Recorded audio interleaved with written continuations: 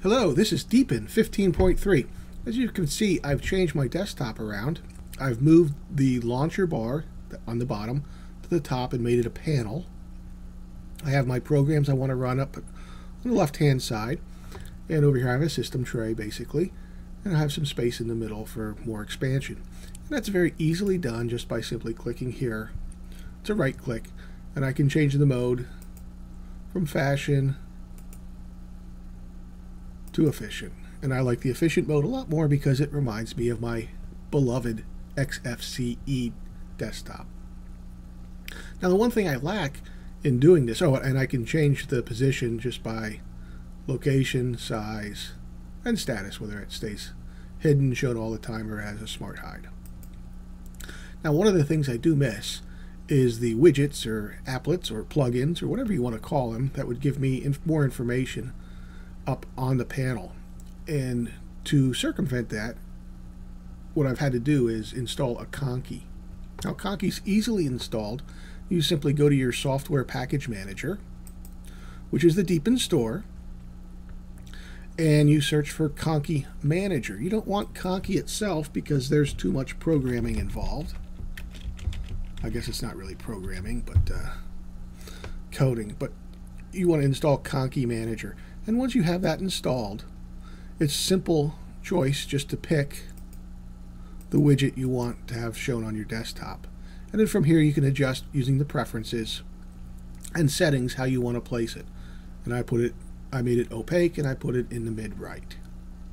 Very easily done. Now you can go on the internet and download themes. And there are some really fancy themes on the internet. And I will probably do that in the future because I want to get the temperature of my CPU down here too, which I don't have. So that's Conky Manager. Now the next thing I wanted to show in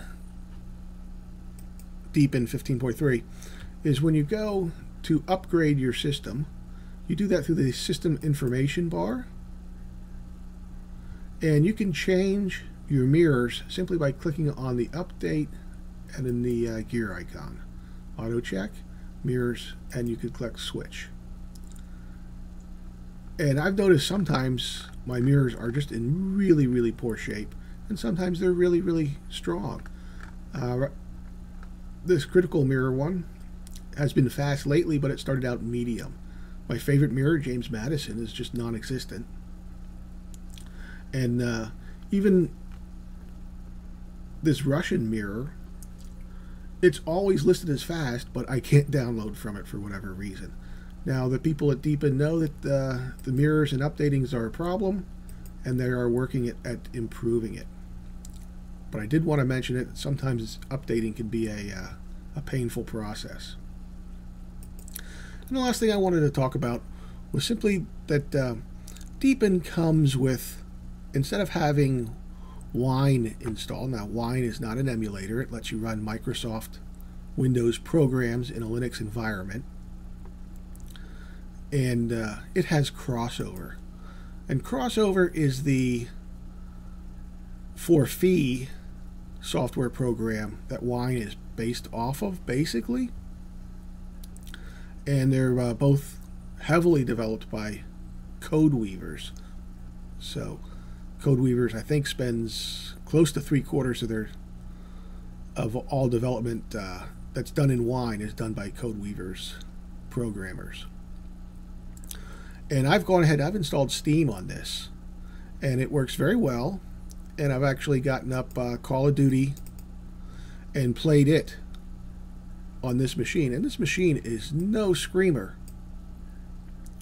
It's a uh, quad core Phenom CPU at, at 2.1 gigahertz, and it uh, runs a uh, a lowly 20. No, it has a good, half decent graphics card. It's got a 660 NVIDIA graphics card in it.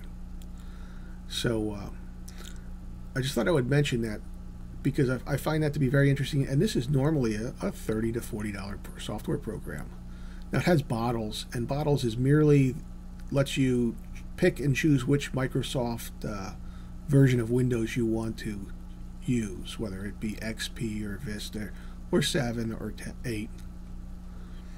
So there, that's crossover. very interesting. And I'll have show a little bit more on that in a future update. All right, so that's Deepin 15.3. Very nice, very interesting. And the addition of crossover makes it a very unique distribution. Thanks for watching.